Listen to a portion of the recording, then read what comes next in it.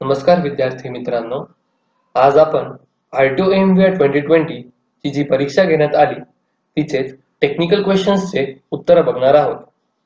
तर चला तर मग सुरू करूयात. तर आपला पहिला प्रश्न आहे की अशी कुठली प्रक्रिया आहे म्हणजेच अशी कुठली मेथड आहे जी आपण प्रोसेस इम्प्रूव्हमेंट बरोबरच स्टॅटिस्टिकल कन्सेप्टसाठी पण वापरू शकतो. तर याचे बरोबर उत्तर आहेत सिक्स सिग्मा तर सिक्स सिग्मा ही कन्सेप्ट आपण मॅथ्सच्या स्टॅटिस्टिक आणि प्रोबॅबिलिटी बरोबरच मेट्रोलॉजी आणि क्वालिटी कंट्रोलमध्ये पण यूज करतो. तर आपला पुढचा प्रश्न आहे की ब्रेझिंग प्रक्रियेत सामान्यतः वापरला जाणारा फ्लक्स म्हणजे कुठला?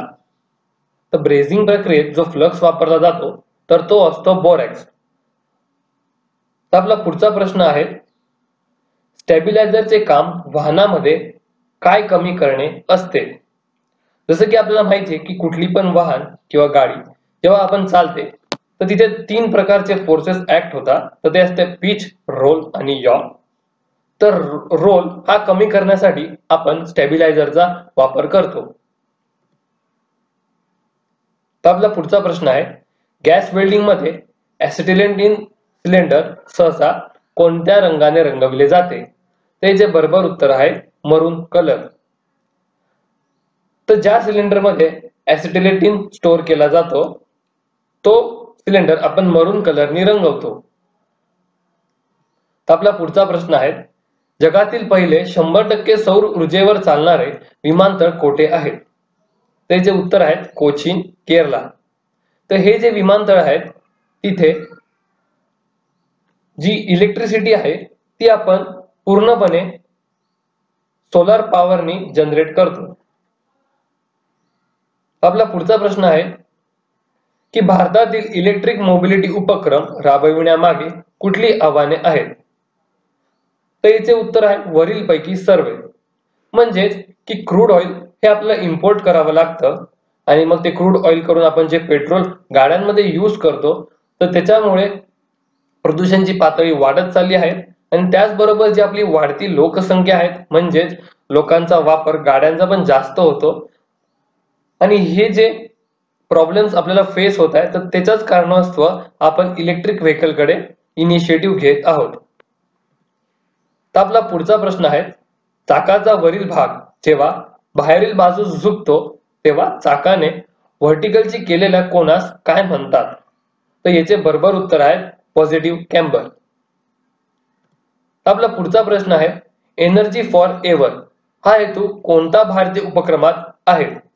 त्याचे उत्तर आहे Indian renewable energy development agency म्हणजेच भारतीय रिन्युएबल ऊर्जा विकास एजन्सी तर ह्या एजन्सीने जेव्हा त्यांचं काम स्टार्ट केलं तर त्यांनी एक मोठो ठेवला आणि तो जो होता तो होता एनर्जी फॉर एव्हर तर आपला पुढचा प्रश्न आहे हिट पंपचा कोइफिशियंट ऑफ परफॉर्मन्स हा किती असतो? जे उत्तर आहे एकापेक्षा जास्त असतो. म्हणजेच हीट पंपचा कोइफिशियंट ऑफ परफॉर्मन्स हा प्रत्येक वेळेस एक पेक्षा जास्त असतो. आणि इफिशियन्सी ऑफ हीट इंजिन ही एक पेक्षा कमी असते. म्हणजेच कुठल्या पण गोष्टीचा सीओपी हा मोर दॅन वन असतो आणि इफिशियन्सी ही लेस दॅन वन असते. डिझेल इंजिनमध्ये खालील श्रेणीप्रमाणे कंप्रेशन रेशियो कुठला वापरतात? त्याचे बरोबर उत्तर आहेत सोळा ते वीस. आपला पुढचा प्रश्न आहे दोन आयसोथर्मल व दोन कॉन्स्टंट व्हॉल्यूम प्रोसेस बनून कुठली सायकल बनते?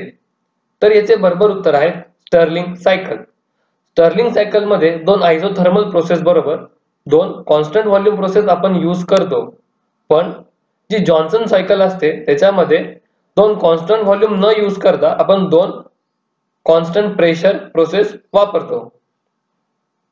तर आपला पुढचा प्रश्न आहे साधारणपणे सिलेंडरमध्ये जास्तीत जास्त किती ओव्हेलिटी मान्य असते? तर याचे उत्तर आहे zero point zero one M. आपला पुढचा प्रश्न आहे व्हेंच्युरी थ्रोट व कार्बोरेटर एंट्रन्स यांच्यामध्ये बसवलेल्या बटरफ्लाय वॉलला काय म्हणतात? तर त्याचे उत्तर आहे थ्रोटल वॉल पण हे आपल्या ऑप्शनमध्ये नाही आहे. म्हणूनच याचे उत्तर आपण मार्क करायला पाहिजे. वरील पैकी एकही नाही. म्हणजेच none of the about high pressure pump fuel rail with a pressure sensor electrically control injectors आणि इंजिन मॅनेजमेंट सिस्टीम या चारही गोष्टी आपण कुठल्या इंजेक्शन सिस्टीममध्ये वापरतो? तर इथे बरोबर उत्तर आहे common rail fuel injection system आपला पुढचा प्रश्न आहे हायपॉड गिअर्समध्ये विशेष वंगणाची गरज असते. कारण तर विशेष वंगण म्हणजे स्पेशल लुब्रिकंट तर जे आपण स्पेशल लुब्रिकंट यूज करतो हायपॉड गिअरमध्ये तर जी स्लायडिंग ऍक्शन असते जी हायपॉड गिअर्समध्ये होते. ती कमी करण्यासाठी आपण स्पेशल लुब्रिकंट आपल्याला वापरावं लागतं हायपॉड गिअर्स जेव्हा आपण यूज करतो तेव्हा. तर आपला पुढचा प्रश्न आहे की आधुनिक सरावात किती जादा हवा इंजिनात इंधनाच्या ज्वलनासाठी आपण वापरतो? तर याचे बरोबर उत्तर आहे पंचवीस ते पन्नास टक्के. आपला पुढचा प्रश्न आहे की कन्व्हेन्शनल गिअर बॉक्सपेक्षा कंटिन्युअस व्हेरिएबल ट्रान्समिशनची मेकॅनिकल इफिशियन्सी ही कशी असते? तर सीव्हीटीची इफिशियन्सी ही कमी असते. पण याची थर्मल इफिशियन्सी ही जास्त असते. तर आपला पुढचा प्रश्न आहे दिशादर्शकामध्ये लाइट प्रति मिनिट साधारण किती वेळा चमकतो? त्याचे बरोबर उत्तर आहे ऐंशी वेळा. म्हणजेच आपण जेव्हा इंडिकेटर ऑन करतो तर ते एका मिनिटामध्ये इंडिकेटर ऐंशी वेळा चमकते. तर आपला पुढचा प्रश्न आहे युनिव्हर्सल जोडाचे काम प्रोपेलर शाफ्टसाठी काय असते? त्याचे बरोबर उत्तर आहे टॉर्क काही कोणामध्ये ट्रान्सफर करणे. तर कुठल्या पण अँगलला जर आपल्याला टॉर्क ट्रान्सफर करायचा असतो त्यावेळेस आपण युनिव्हर्सल जॉईंट यूज करतो.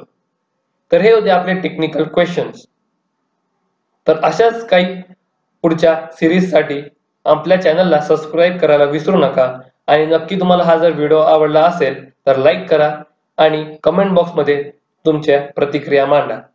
धन्यवाद.